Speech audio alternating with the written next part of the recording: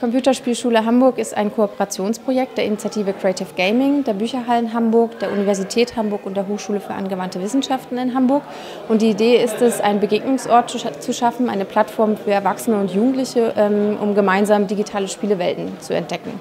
Man kann einmal in der Woche vorbeikommen. Das ist ein offenes Angebot ähm, für Jugendliche ab 13 und für ihre Eltern. Man kann gemeinsam spielen, man kann gemeinsam über Spiele reden und auch mit Computerspielen einfach neue kreative Sachen ausprobieren. Die Computerspielschule in Hamburg ist die dritte Computerspielschule in Deutschland, äh, neben Greifswald und Leipzig.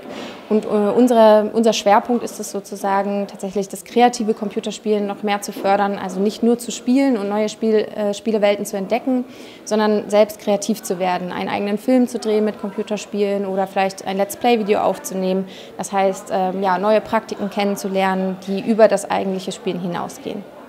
Die Computerspielschule ist hier bei der Play äh, im digitalen Spielplatz für Familien eingebunden. Das heißt, es gibt verschiedene Spielstationen, an denen man diverse Spiele ausprobieren kann. Die Eltern können sich Informationen holen über das, ja, den Umgang mit Computerspielen und die Jugendlichen können gemeinsam neue Spiele entdecken, ausprobieren und äh, unseren Skilltree durchlaufen. Das heißt, äh, sie haben verschiedene Möglichkeiten, ähm, ja, Punkte zu sammeln und äh, am Ende eine kleine Belohnung dafür zu bekommen, wenn sie alle durch Level durchlaufen sind.